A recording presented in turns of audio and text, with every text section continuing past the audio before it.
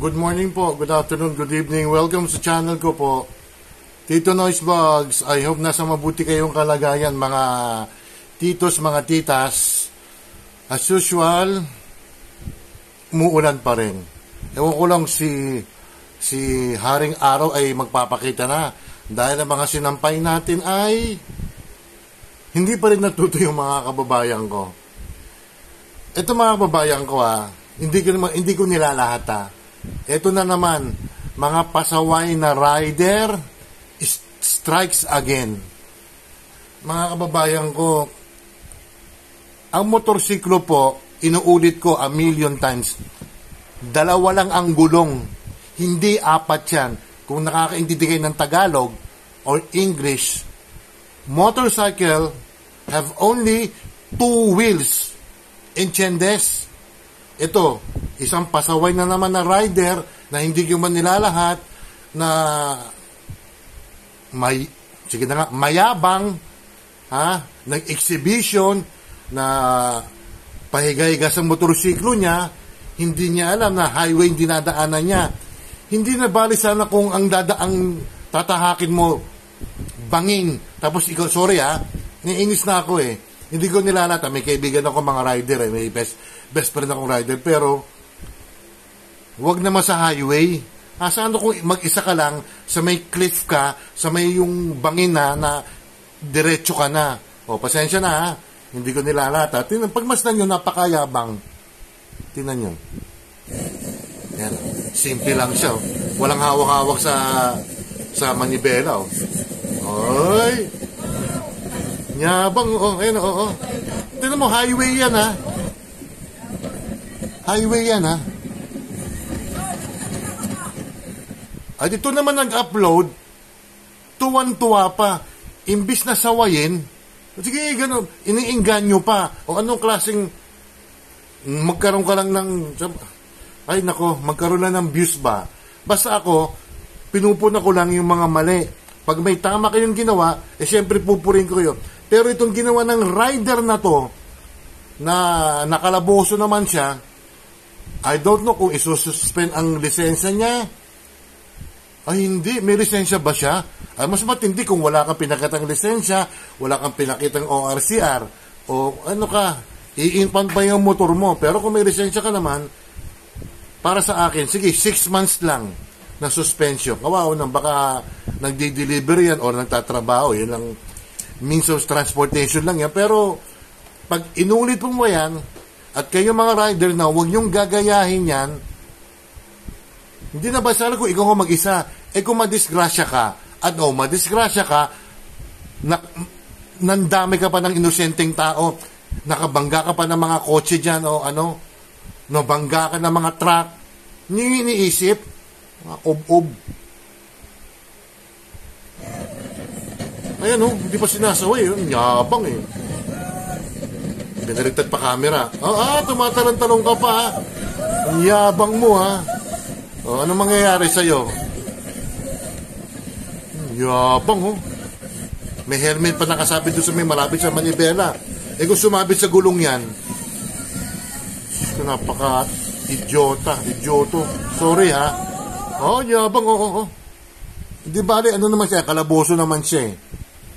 Huwag niyong gagayahin mga kababayan niya na eh, sa EDSA talaga, hindi magagaya, hindi, hindi mangyayari yan. Eh, dahil masikip sa EDSA mga kababayan ko.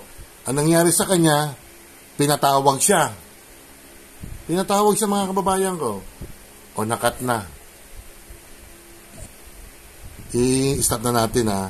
Basta ang ano, pakiusap ko sa inyo mga riders na marami naman matitino pa rin, kukunti lang yung mga kamote na ngayon. O, o nangyari sa kanya, sinuspend, I don't know kung sinuspend. Sa probinsya yung mga kababayan ko, ang bandang south, sinuspend yung ano niya, yung lisensya niya, hindi ko na alam kung ilang buwan. O para sa akin yung mga, sige, 3 to 6 months, eh siguro din niya uulitin yung mga kababayan ko dahil, ano yan eh, peligroso yun sa, ano eh, may mag-exhibition ka lang, akala mo, tuwan-tuwan ng mga tao. At ikaw naman nag-upload ka na, kung ako sa'yo, hinarang ko na yan, Pinagsabihan ko, boss, kung nagagawin yan, delikado yan. Hindi, tuloy-tuloy pa eh. Kaya kayo mga riders eh, Yung mga matitino, okay lang sa akin. Kayo yung mga mag attempt na mag exhibition ng mga ganyan, huwag yun nang ituloy dahil mawawalan kayo ng kabuhayan. Masususpend pa lisensya nyo.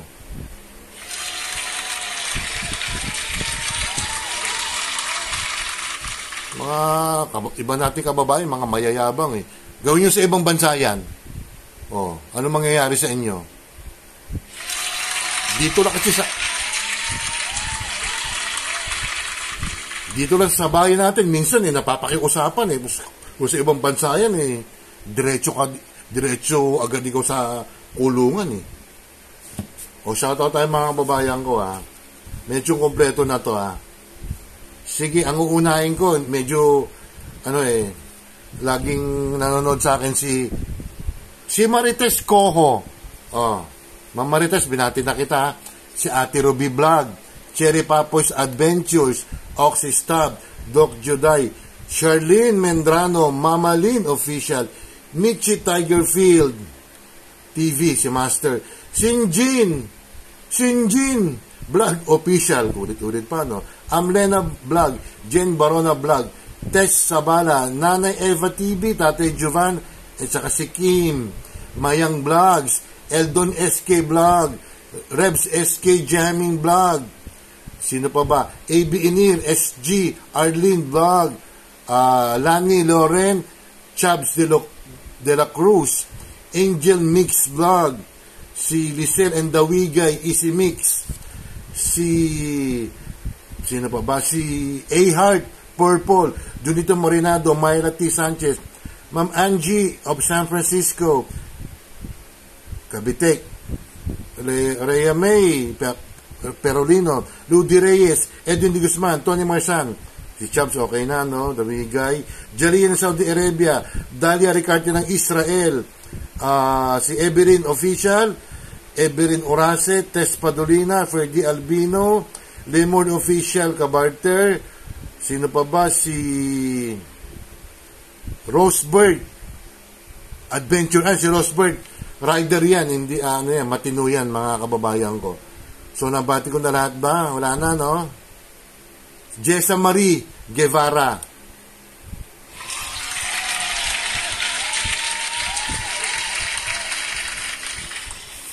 Tayo naman mga Pilipino, pag napakiusapan, eh, gagawin naman. Pero, yung mga matitigas ng ulo dyan na dalawa lang ang gulong, ang akala mo eh, armor car yung mga sasakyan nila, eh, huwag yung gagawin yan. Kasi peligroso nga eh. Pwede kayo madisgrasya. Pwede kayo makapagdisgrasya niya. Eh kung may mga tumatawid na bata, oh, may tumatawid ng PWD, may tumatawid ng senior citizen, nakaiga kayo sa motor nyo. Oh, sana kung may pera kayong ipang papagamot.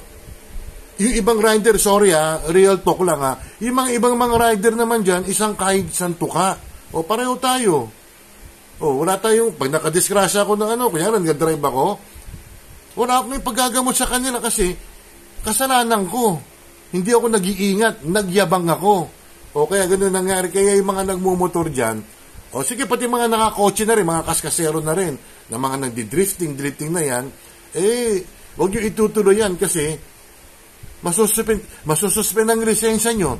O kung naghahanap buhay kayo, paano hindi eh makapagmaneho? Di ba? Mag-isip kayo. Think a hundred times o a million times bago kayo gumawa ng mga exhibition na yung mga ikan na yan.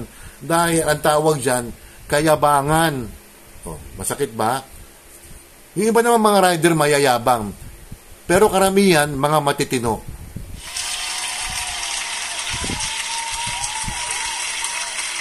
Wala na ako nakalimutan ha. Don't forget to like and subscribe. Hit the bell notification para ma-update kayo sa aking mga video. God bless kayo mga God bless to you all mga kababayan ko and peace!